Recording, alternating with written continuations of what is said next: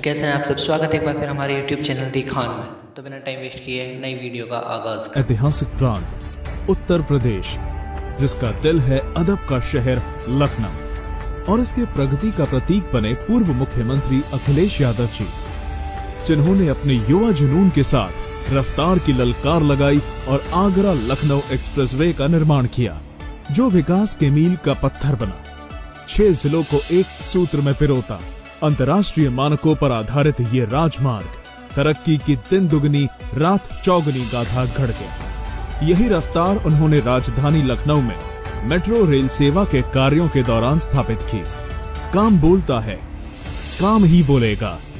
वहीं जन स्वास्थ्य क्षेत्र में समाजवादी लक्ष्य लिए अपने क्रांतिकारी कदमों की पहल करते हुए अखिलेश जी ने कई सेवाओं का श्री गणेश उत्तर प्रदेश के मुख्यमंत्री अखिलेश यादव ने मुख्यमंत्रियों में से एक हैं जिन्होंने कम उम्र में इस पद की ज़िम्मेदारी संभाली है। उनके पिता मुलायम सिंह यादव भी उत्तर प्रदेश के मुख्यमंत्री रह चुके हैं। वहीं वहीं उनकी माता का नाम मालती देवी है। उनकी पत्नी डिम्पल यादव भी एक पॉलिटिशियन है।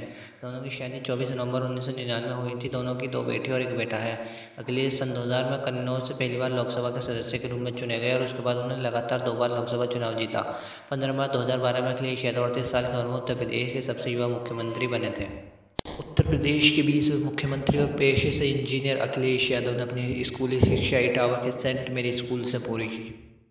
उसके बाद उन्होंने राजस्थान के धौलपुर में धौलपुर में मिलिट्री स्कूल में दाखिला ले लिया। उन्होंने मैसूर के Shri Jaya Chamarajendra college of engineering से सिविल इन्वायरमेंटल इंजीनियरिंग में भी ग्रेजुएशन की डिग्री प्राप्त की और फिर सिडनी विश्वविद्यालय में इन्वायरमेंटल इंजीनियरिंग में मास्टर डिग्री की पढ़ाई के लिए ऑस्ट्रेलिया चले गए।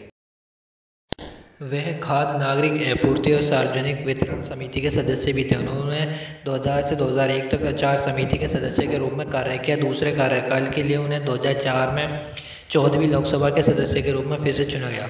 इसके बाद वे 2009 में पंद्रहवीं लोकसभा के सदस्य बने और तीसरे कार्यकाल के लिए फिर से निर्वाचित हुए। उन्हें 10 मार्च 2012 को उत्तर प्रदेश में समाजवादी पार्टी के नेता के रूप में नियुक्त किया गया था। उन्होंने उत्तर प्रदेश राज्य में विधान परिषद के सदस्य बनने के लिए 2 मई 2012 को पंद्रहवीं लोकसभा के सदस्य के रूप में इस्तीफा दे दिया। 2017 के विधानसभा चुनाव में अखिलेश यादव के नेतृत्व में सपा कांग्रेस गठबंधन सरकार नहीं बना पाई और इसलिए उन्होंने 11 मार्च को राज्यपाल राम नाईक राम नाईक को अपना इस्तीफा सौंप दिया। इसके बाद उन्हें मई 2019 में आजमगढ़ लोकसभा से सांसद सदस्य के रूप में चुना गया था। वे तीन बार लोकसभा चुनाव जीत चुके हैं। 2017 के यूपी राज्य विधानसभा चुनाव के दौरान अखिलेश ने लगभग दस हज़ार किलोमीटर की यात्रा यूपी में आठ सौ रैलियाँ की थी। ग्रामीण जीवन के विकास और किसानों और गरीबों के कल्याण के लिए काम करने में उनकी सक्रिय भागीदारी उत्तर प्रदेश की नई तस्वीर का जीता जागता उदाहरण है। उन्हें भारतीय राजनीति में युवा चेहरों में से एक के रूप में जाना जाता है। उन्हें समाजवादी पार्टी की छवि बदलने और अपने चुनाव अभियान में आधुनिक तत्वों को शामिल करने का श्रेय दिया जाता है। ग्रामीण जीवन के विकास और किसानों और गरीबों के कल्याण के लिए काम करने में उनकी सक्रिय भागीदारी उत्तर प्रदेश की नई तस्वीर का जीता जागता उदाहरण है। उनकी साइकिल रैली एक बड़ी सफलता थी क्योंकि वे विभिन्न समुदाय के मतदाताओं, विशेषकर युवा पीढ़ी के बीच, युवा पीढ़ी के बीच काफ़ी लोकप्रिय हो गए थे।